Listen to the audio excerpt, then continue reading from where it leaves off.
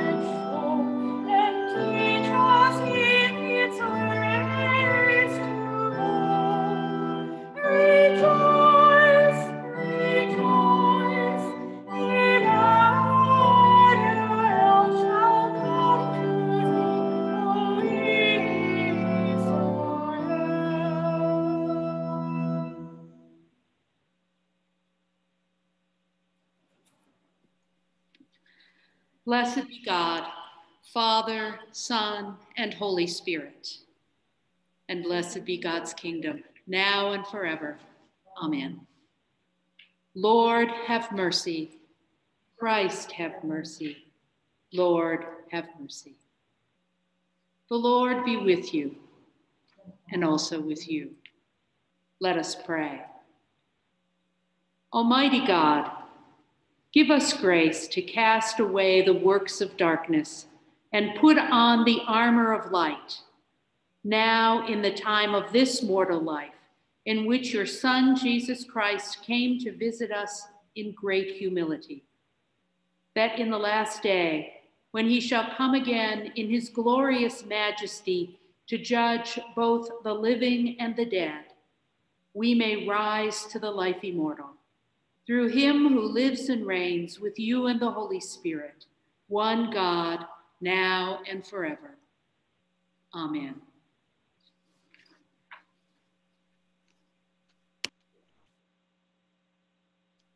A reading from the book of Isaiah. Oh, that you would tear open the heavens and come down, so that the mountains would quake at your presence. As when fire kindles brushwood and the fire causes water to boil to make your name known to your adversaries, so that the nations might tremble at your presence. When you did awesome deeds that we did not expect, you came down, the mountains quaked at your presence. From ages past, no one has heard, no ear has perceived, no eye has seen any God besides you who works for those who wait for him. You meet those who gladly do right, those who remember you in your ways. But you were angry, and we sinned. Because you hid yourself, we transgressed. We have all become like one who is unclean, and all our righteous deeds are like a filthy cloth. We all fade like a leaf, and our iniquities, like the wind, take us away. There is no one who calls on your name or attempts to take hold of you, for you have hidden your face from us and have delivered us into the hand of our iniquity. Yet, O Lord, you are our Father. We are the clay, and you are our potter. We are all the work of your hand. Do not be exceedingly angry, O Lord, and do not remember iniquity forever. Now consider, we are all your people. Hear what the Spirit is saying to God's people. Thanks be to God.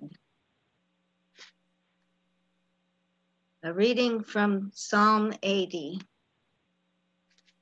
We can read it together if possible. Hear, O shepherd of Israel, leading Joseph like, a flock. Shine, Shine forth, you that are enthroned upon the cherubim. In the presence of Ephraim, Benjamin, and Manasseh, stir up your strength and come to help us. Restore us, O God of hosts. Show the light of your countenance, and we shall be saved. O Lord God of hosts, how long will you be angered, despite the prayers of your people? You have fed them with the bread of tears. You have given them bowls of tears to drink. You have made us the derision of our neighbors and our enemies laugh us to scorn. Restore us, O God of hosts. Show the light of your countenance, and we shall be saved. Let your hand be upon the man of your right hand, and the Son of Man you have made so strong for yourself. And so will we never turn away from you. Give us life that we may call upon your name. Restore us, O God of hosts. Show the light of your countenance, and we shall be saved.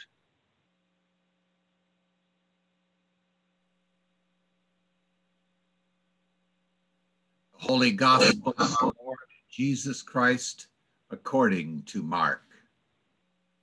Glory to you, Lord Christ. Jesus said, In those days after that suffering, the sun will be darkened, and the moon will not give its light, and the stars will be falling from heaven, and the powers in the heavens will be shaken. Then they will see the Son of Man coming in clouds with great power and glory. Then he will send out the angels and gather his elect from the four winds, from the ends of the earth and to the ends of heaven. From the fig tree, learn its lesson.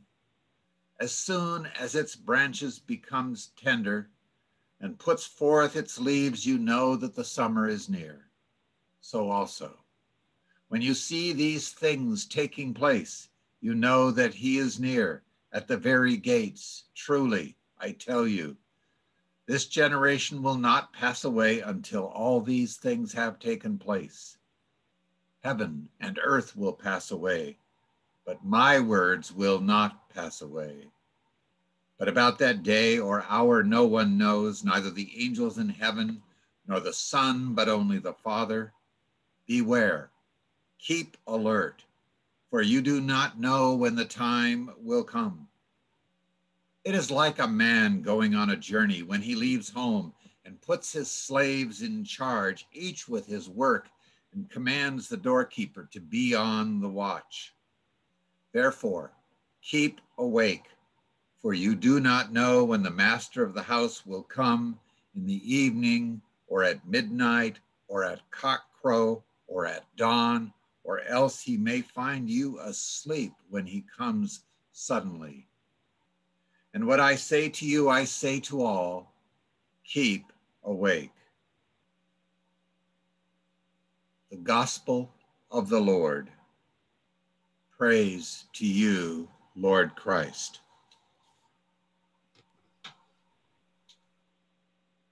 In the name of the Father, and of the Son, and of the Holy Spirit. Amen. So happy first Sunday of Advent. It's a new church year. The last church year was quite an interesting one, wasn't it? And here we are. I think we're all ready for a new start. Our theme this year, this Advent, is those who dream. Those who dream. It comes from Psalm 126. When the Lord restored the fortunes of Zion, then we were like those who dream. And we'll hear that psalm later in Advent. It seems almost contradictory when we just hear Jesus saying, stay awake. And yet our theme is dreaming, those who dream. You know, when we dream, you might think of daydreaming, you might think of dreaming while you're asleep. Sometimes we do that. Sometimes our dreams help us to escape reality. We imagine, we daydream what might be or what will be, what we hope for, what we long for. And sometimes those dreams also, that dreaming helps us to change, to transform reality. And then we think about God's dream. We talk about God's dream a lot, God's kingdom, God's reign. It's what God's dream is for us and for the whole of creation that we would all be restored to wholeness, both in ourselves and among each other. So there's a lot to dream about, a lot to long for, to yearn for, to desire, which is part of what Advent is all about. That yearning long ago, the yearning for a Messiah to come, and also our yearning now for the second coming, which we know is already happening. God is breaking into our world. The kingdom is already coming, and yet it's not here yet, not in its fullness. So we move from that long green season where everything is green and the, the leaves on the trees are green, everything. We're, we're thinking about just ordinariness, ordinary time. And as we begin Advent, we move into extraordinary time. Our dreams become extraordinary because we yearn for God who became a child. Imagine the immensity of God in the package of a baby. It jolts us. And it reminds us that there's always new possibilities, always something to desire. When I was a teenager, I used to have posters on my wall a lot, even into, into my college years. And as I was preparing this, one of the quotes they had uh, was a quote that I had on a poster on my wall in my, uh, in my bedroom and then in my dorm room. And it was a poem by Langston Hughes, the African American poet. And the part that was on my poster was this Hold on to dreams, for if dreams die, life is a broken winged bird that cannot fly. Hold on to dreams. That meant a lot to me then, and it still does. Asking us to get in touch with our dreams. And yet, Advent 1 brings us into a moment that I think is not something we think about in Advent grief, lament. Lament meaning intense grief, intense expressions of grief. In our first reading, we hear, Tear open the heavens and come down. Remember, it's remembering that God once did good things for us, did wonderful, amazing things for us. And we yell to God, Come on down again, come down. Tear up everything and get down here, God. Where are you? We need you. Remember your dream to be with us. I think in this day, in 1920, 1920, in 2020, this day, that's what a lot of us are feeling. Lamenting and grief over the lives we used to be able to live, the places we used to go, the people we used to see, not just in little boxes on Zoom, but in the flesh. And that's what we want again. We want people's flesh near us to touch them as much as we desire God to come, to touch God in the flesh of Jesus. And you know what? It's okay to grieve. As a matter of fact, it's important to grieve, to lament, to keep going over and over. Darn it, God. We missed Christmas together as a community. Now we're probably going to miss, we missed Easter. Now we're going to miss Christmas. How, how can you let this happen? but that is our world. And that is the reality of today. And so we have to grasp that reality, grasp the truth that a virus is keeping us apart. And yet, because we love and care for each other, we continue to give up that ability to be together. And yet, we are together. We are connected. We're connected in the communion that we give out to each other, even though it's unusual these days. We're connected in the prayers we pray. And we're connected in the boxes. And even if we're not in the little boxes, we still connect. It's part of God's dream. And it will happen again. So now Jesus tells us to keep awake.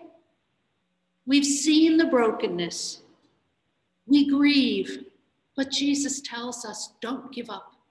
Don't give up hope. The vision, the dream will become reality. And not just the vision of us being together, but God's vision for the world, for healing, for wholeness.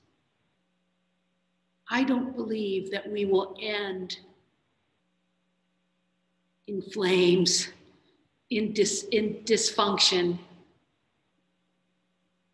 in grief. God wants us to end in joy.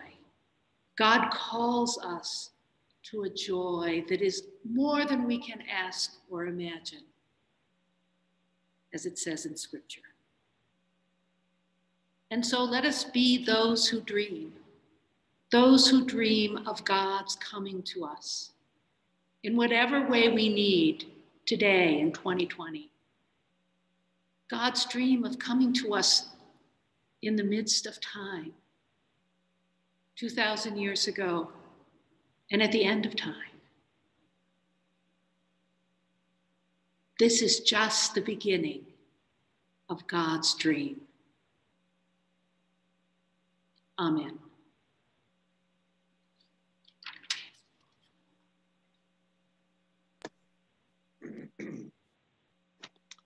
Let us profess our faith in the words of the Nicene Creed, saying together, We believe in one God, the Father, the Almighty, maker of heaven and earth, of all that is, seen and unseen. We believe in one Lord, Jesus Christ, the only Son of God, eternally begotten of the Father, God from God, light from light true God from true God, begotten, not made, of one being with the Father. Through him all things were made. For us and for our salvation, he came down from heaven, was incarnate of the Holy Spirit and the Virgin Mary, and became truly human. For our sake, he was crucified under Pontius Pilate. He suffered death and was buried on the third day, he rose again in accordance with the scriptures. He ascended into heaven and is seated at the right hand of the Father. He will come again in glory to judge the living and the dead, and his kingdom will have no end. We believe in the Holy Spirit, the Lord, the giver of life, who proceeds from the Father who with the Father and the Son is worshiped and glorified, who has spoken through the prophets. We believe in one holy Catholic and Apostolic Church. We acknowledge one baptism for the forgiveness of sins. We look for the resurrection of the dead and the life of the world to come. Amen. In the prayers of the people this morning, each petition ends with the words, Teach us your ways, O God.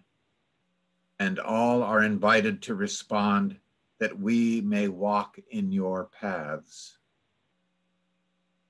People of God, come, let us walk in the light of the Lord. Let us pray. Wake from sleep, O God, your church. Let us lay aside the works of darkness and put on the armor of light. Let us live honorably as salvation draws ever nearer.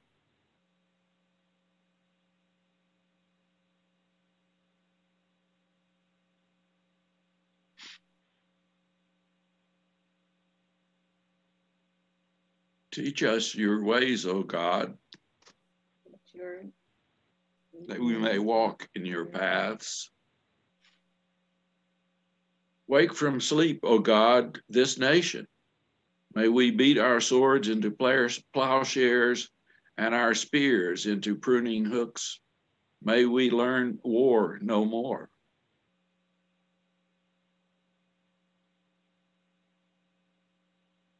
Teach us your ways, O God, that we may walk in your paths. Wake from sleep, O God, your creation. May the mountains rise to meet you and the crops of the fields burst forth in praise. Teach us your ways, O God, that we may walk in your paths. Wake from sleep, O God, this region. May there be peace and prosperity within our walls Make clear our paths that we may walk in your light. Teach us your ways, O God. That we may walk in your paths. Wake from sleep, O God, those in pain and sadness. Deliver them from their darkness, that they may rejoice in your light.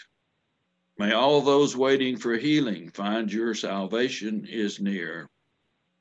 And you're invited to add your own petitions and thanksgivings.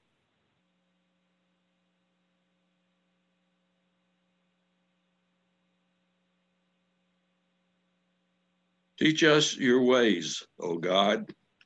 That we may May walk in your paths. Wake all your people from sleep, O God. Prepare your saints for that day when the Son of Man will return with the saints at rest to reign with us forever and ever. Teach us your ways, O God, that we may walk in your paths. Creator God, source of all love, you are the one who knits us together.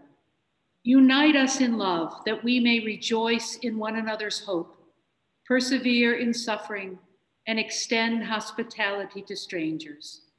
Unravel our hearts, Holy Spirit, and thread new life through us. Craft us to be your hands and feet, Lord Christ, a thousand strand rope, strengthened and known by genuine love. Connect us, woven as one, as you are, one God, now and forever. Amen. Let us confess our sins to God.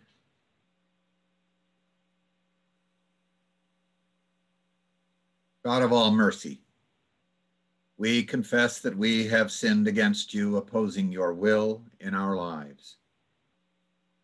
We have denied your goodness in each other, in ourselves, and in the world you have created. We repent of the evil that enslaves us, the evil we have done, and the evil done on our behalf.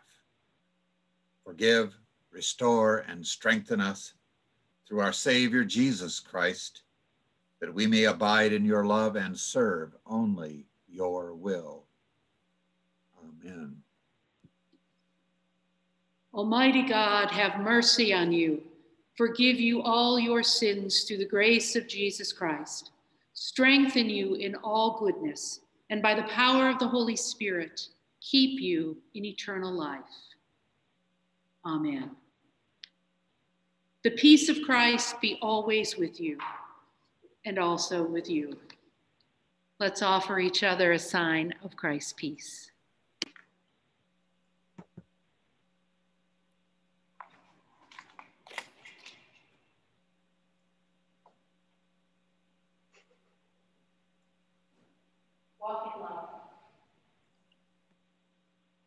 Walk in love as Christ loved us, gave himself for us, an offering and a sacrifice to God.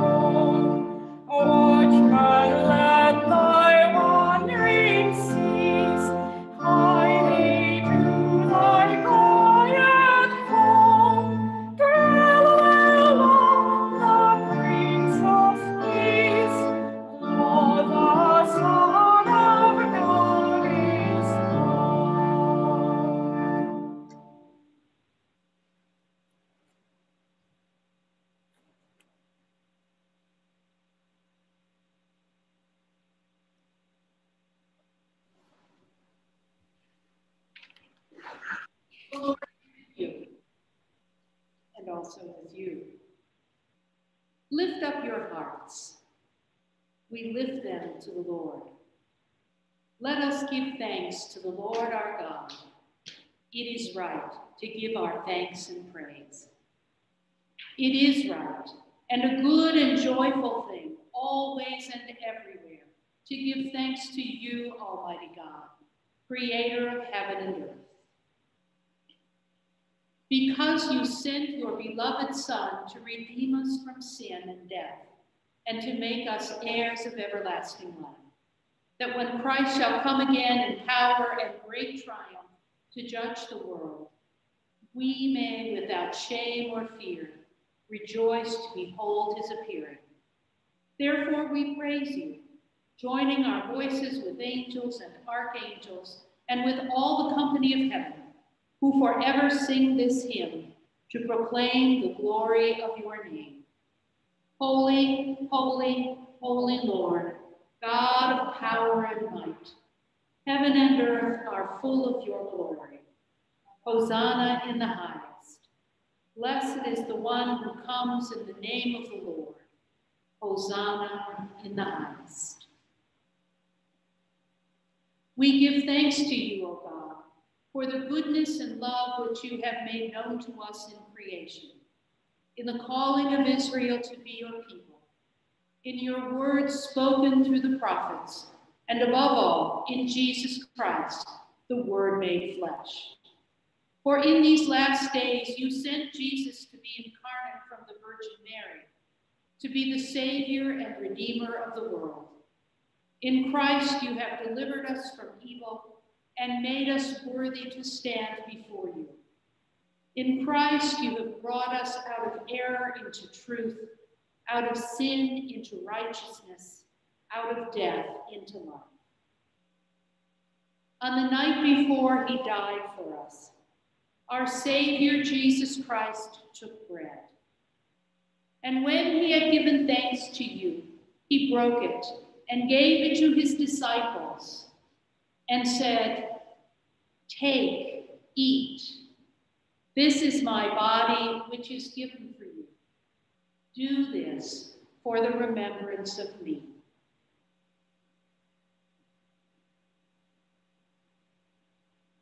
After supper, Jesus took the cup of wine, and when he had given thanks, he gave it to them and said, Drink this, all of you.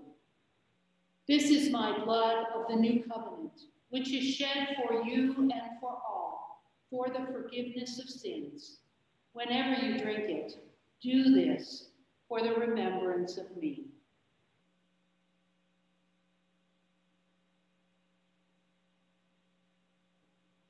Therefore, according to his command, O Father, we remember Christ's death. We proclaim Christ's resurrection we await Christ's coming in glory. And we offer our sacrifice of praise and thanksgiving to you, O Savior of all, presenting to you from your creation this bread and this wine. We pray, gracious God, to send your Holy Spirit upon these gifts, that they may be the sacrament of the body of Christ and his blood of the new covenant. Unite us in the sacrifice of Jesus Christ, through whom we are acceptable to you, being sanctified by the Holy Spirit. In the fullness of time, put all things in subjection under your Christ, and bring us to that heavenly country, where with the Blessed Virgin Mary, St. James, and all your saints, we may enter the everlasting heritage of your children. Through Jesus Christ our Savior, the firstborn of all creation, the head of the church, and the author of our salvation. By Christ and with Christ and in Christ, in the unity of the Holy Spirit, all honor and glory is yours, Almighty God, now and forever. Amen.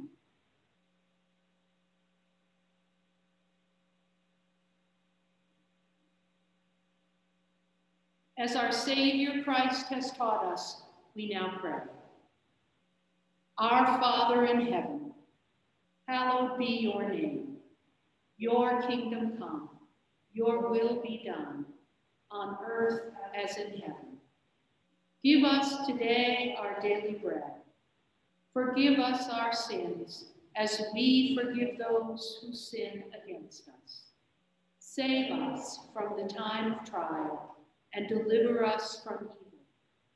For the kingdom, the power, and the glory are yours, now and forever.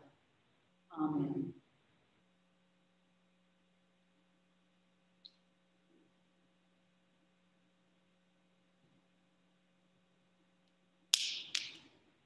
Lamb of God, you take away the sin of the world. Have mercy on us. Lamb of God, you take away the sins of the world. Have mercy on us. Lamb of God, you take away the sins of the world. Grant us peace. And now we pray together on page 13, the prayer for spiritual communion. Blessed Jesus, I believe that you are truly present in the Holy Sacrament. And since I cannot at this time receive communion, I pray you to come into my heart. Come, Lord Jesus, and dwell in my heart in the fullness of your strength. Be my wisdom and guide me in right pathways. Conform my life and actions to the image of your holiness and in the power of your gracious might, rule over every hostile power that threatens or disturbs the growth of your kingdom, who with the Father and the Holy Spirit lives and reigns, one God in glory everlasting. Amen. Let us pray. God of abundance, you have fed us with the bread of life and the cup of salvation. You have united us with Christ and one another, and you have made us one with all your people in heaven and on earth. Now send us forth in the power of your Spirit, that we may proclaim your redeeming love to the world and continue forever in the risen life of Christ our Savior. Amen. In this Advent season, there is a special blessing. May the sun of righteousness shine upon you and scatter the darkness from before your path. And the blessing of God Almighty, the Father, the Son, and the Holy Spirit be among you and remain with you always. Amen. Let us go in peace to love and serve the Lord. Thanks, Thanks be to be God. to God.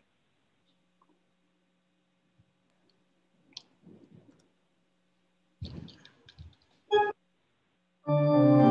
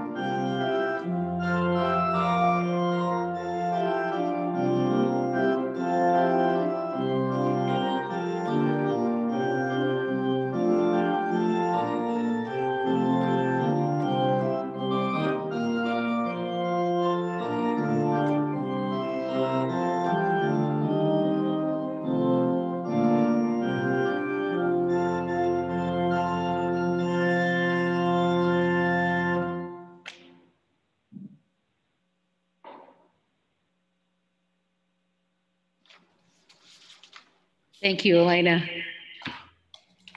Beautiful. And I also want to say thank you to Dean and Catherine Ritchie. Uh, if you don't know,